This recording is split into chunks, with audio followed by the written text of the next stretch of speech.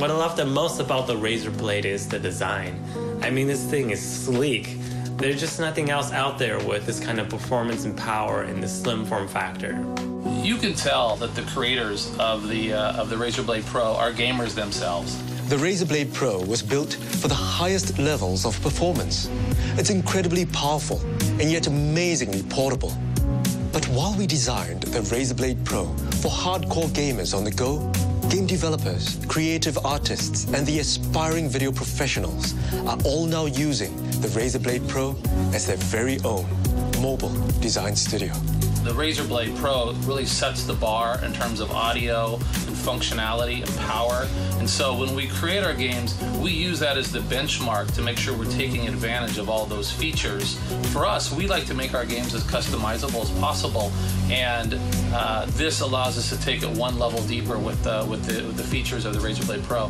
The Razer Blade is a very powerful gaming laptop, which means that it's a very powerful PC. You can certainly edit videos on it, and with a 17 inch screen, it's a lot easier on the eyes and you can get a lot done quicker.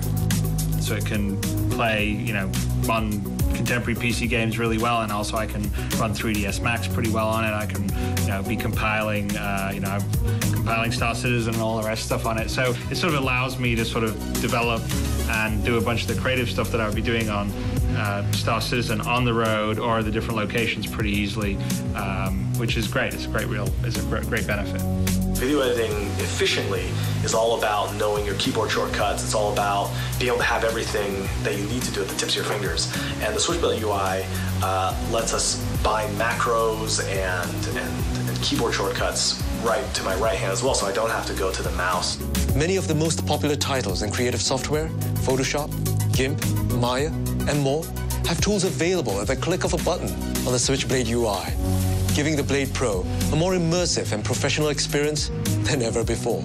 I tour all the time and I can take it with me, and it allows me to kind of uh, get into a different headspace and just kind of uh, play the games I want to play, which actually um, really serves me really well creatively, even you know with writing music. Favorite thing about the Blade is Razer's innovation to push PC gaming forward and give us a portable system.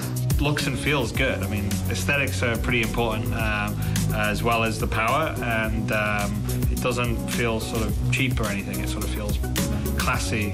The Razer Blade is definitely an all-in-one mobile workstation, especially for those with a gaming channel on YouTube that has daily releases. Sometimes you find yourself needing to record something and edit something in a hotel room or on the go. It's work and play at the same time, and the Razer Blade is a one-stop shop for that. With the Razer Blade Pro, we've designed a gaming laptop for gamers, by gamers, for work, and for play.